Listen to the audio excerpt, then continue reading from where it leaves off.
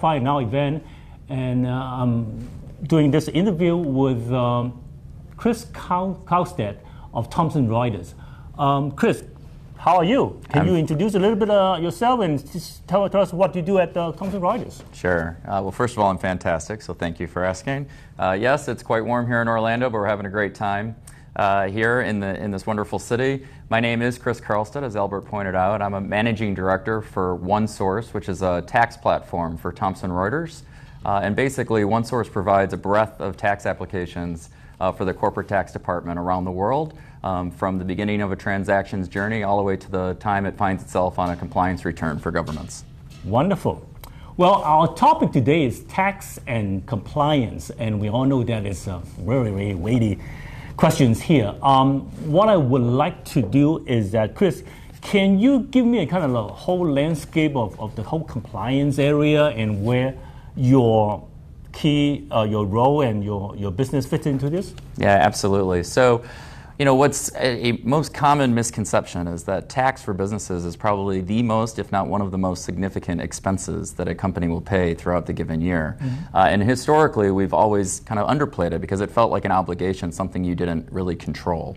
Uh, but as time has moved on and as we move forward with technology, it's enabled governments to get very aggressive with how they go after collecting that tax, mm-hmm. putting more burden on the taxpayer or the corporations in this case to be able to comply. And then to add to that burden, it changes all the time. So keeping pace with that change and actually bringing forth technology to help keep pace with that change is becoming more and more of a trend. Exactly.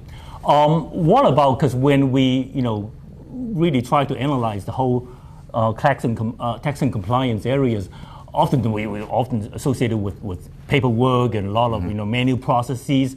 How do these you know new technologies, you know the latest digitization of the tax function, really are changing the way enterprises you know re- do re- tax reporting and, and compliance? Well, you're absolutely right, Albert. That's exactly how taxes have been done for mm-hmm. as long as I can remember, surely since I've been in my career. But there is a change afoot. Uh, and to be fair, there has always been leaders in the tax department who have been driving new frontiers and creating change. I think what's different now, though, is that they're actually getting pulled forward. We still will always have the leaders, but now we have people that are being pulled into technology. And there's really two trends that are driving that. First, the digitization mm-hmm. um, of the customer, if you will. Mm-hmm. So all, all, companies are talking about how do we digitize and how do we uh, focus in on the customer. And I think what's interesting is that the customer is not just who we sell to. The customer could be your internal stakeholder. The customer, in the case of tax, can be the government. And how do we better use technology to ensure that our customers are getting what they need? And then, secondly, the other major trend is the government themselves. Uh, because of the evolving technologies, they too have access to these technologies just like we do as, as consumers and corporations. And they're leveraging that technology to get to better collection of tax. Well, that's uh, kind of what our research is, uh, is telling us as well. The whole e-government um, phenomenon is just you know really spreading like, like wildfire. Um, on the on the tax collection side, you know, a lot of government agencies would invest in new technologies mm-hmm. to make that happen because a it's is revenue generating type of activities that they, they need definitely need more, to do a lot more. Do you think that you know the, the governments, you know, despite the fact that many of these government agencies have been running legacy systems, do you think that they're well equipped to handle you know this tremendous amount of, of new things going on and, and, and perhaps you know uh, working in close concert with, with the, the private sector?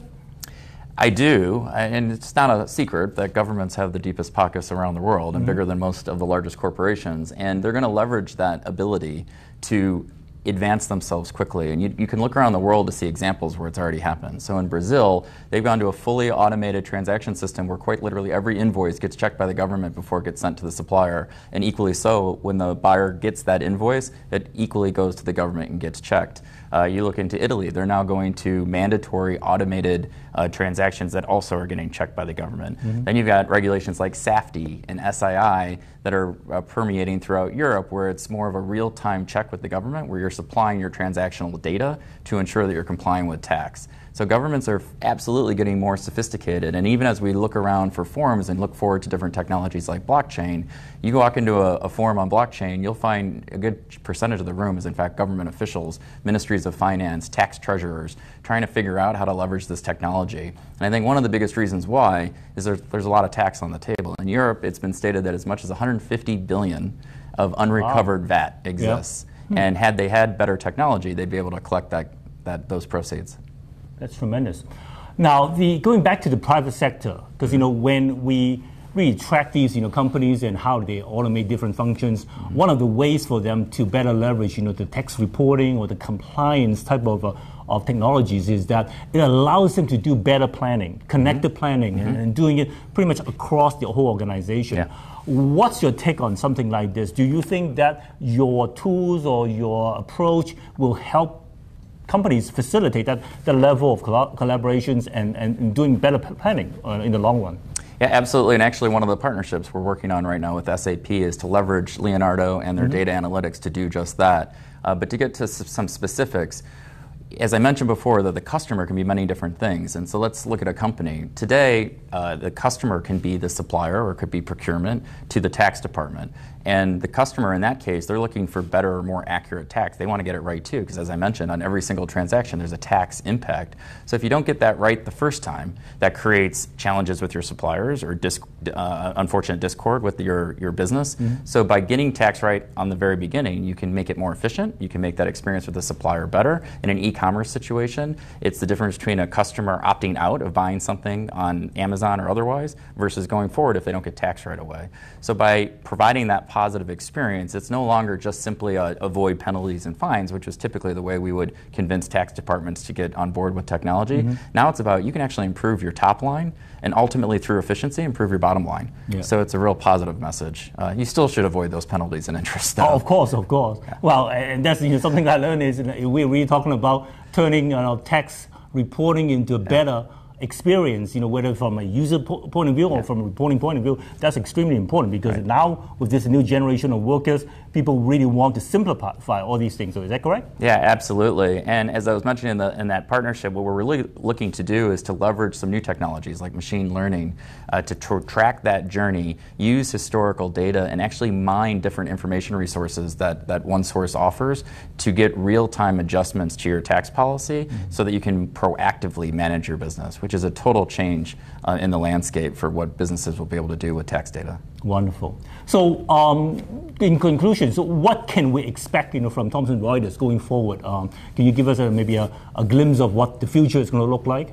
It's all about platforms and partnering. And we're really excited to work with SAP and, and further that relationship because the customer ultimately wants mm-hmm. a singular experience. They don't care behind the scenes how that happens. Uh, and so, through partnerships like the one that we're uh, very excited about with SAP, we'll allow the customer to experience their, their SAP experience. And in the background, we'll continue to supply tax information to make that experience seamless and also to get customers what they want, which is get tax right the first time.